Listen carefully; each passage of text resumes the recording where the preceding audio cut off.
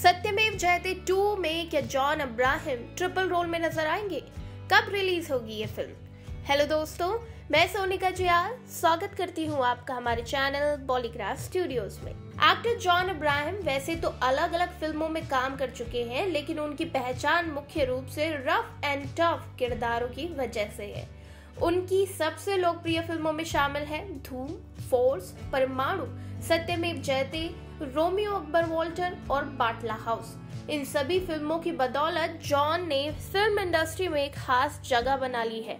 Modelling से acting की दुनिया में आने वाले जॉन की पिछली रिलीज़ फ़िल्म अनीस बसमी की पागलपंती थी।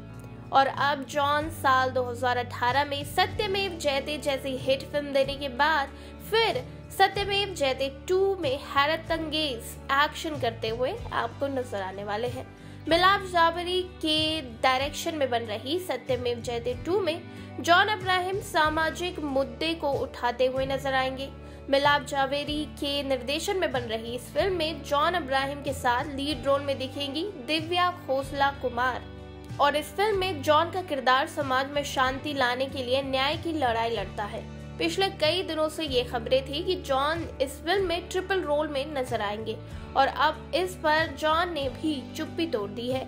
जब जॉन से इस बारे में पूछा गया तो उन्होंने कहा, सत्यमेव जयते टू के लिए मिलाप जावेरी फ़िलहाल उनका किरदार ग्रो कर रहे हैं और वो उन्हीं में से एक भूमिका निभाएँगे। इसी के साथ उन्होंने कहा कि फ़िलहाल वो अभी अपने किरदार के बारे में ज़्यादा कुछ नहीं जानते। यानी कि अभी तक कंफर्म नहीं हुआ है कि उनका फ़िल्म में ट्रिपल रोल है या नहीं है। खैर, इस साल आपको जॉन टाइम टाइम पर एंटरटेन करते हुए नज़र आएँगे। 19 जून को जॉन की मोस्ट अवेटेड फ़िल्म मुंबई सागा रिलीज़ होगी। 14 अगस्त को जॉन की फ़िल्म अटैक रिलीज़ होगी, जिससे वो बॉक्स ऑफ़िस पर अटैक करेंगे। उसके बाद 2 अक्टूबर को सत्यमेव जयते टू रिलीज़ होगी। और इसके अलावा डिशुम टू के साथ भी जॉन का नाम जोड़ा जा रहा है। तो दोस्तों, आप हमें बताइए कि आपको जॉन की फ़िल्मों का कितना इंतज़ार है नीचे कमेंट सेक्शन में। और इसी तरह के दूसरे वीडियोस के लिए सब्सक्राइब कर लें हमारे चैनल बॉलीग्राफ स्टूडियोज को।